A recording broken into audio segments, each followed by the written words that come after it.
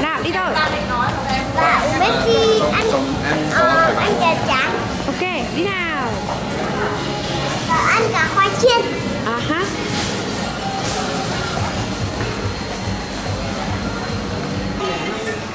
Ở đây là ăn chờ. à, xin chào cô. À tôi đây chọn bàn này à? Được rồi mẹ sẽ đi gọi món nhé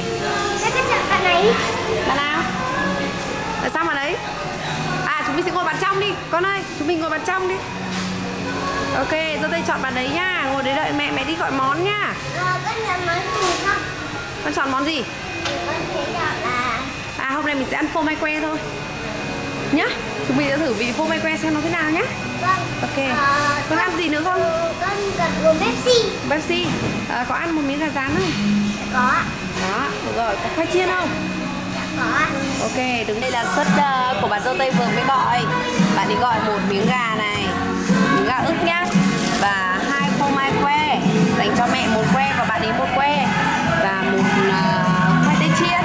Và cả cái gì đây dâu tây? À đúng rồi, bây giờ chúng mình sẽ cùng thử ăn nhá.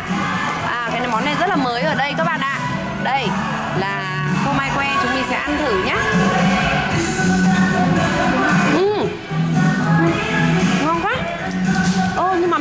tương ớt tương cà chua tôi đây lấy đi. Rồi, mình sẽ đi lấy. Các bạn ơi, từ sẽ à đây này bạn dâu tây có cái này này. Đây là phô mai que. Bạn dâu tây sẽ ăn nhá. Và mẹ sẽ ăn thử nhá. Mẹ chấm cái này đi. nào mẹ sẽ chấm tương ớt dâu tây thì từ chấm tương cà chua chúng mình rô nào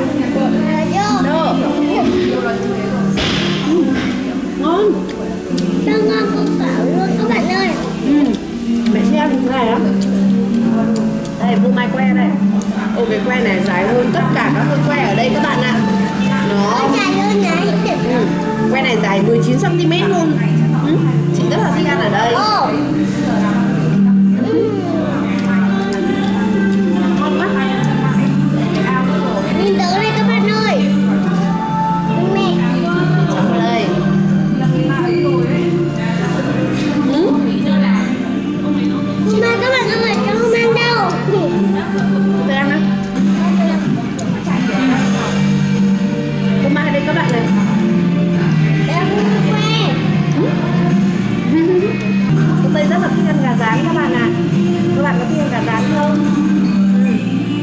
Tuần rất là thích được đi ăn gà rán.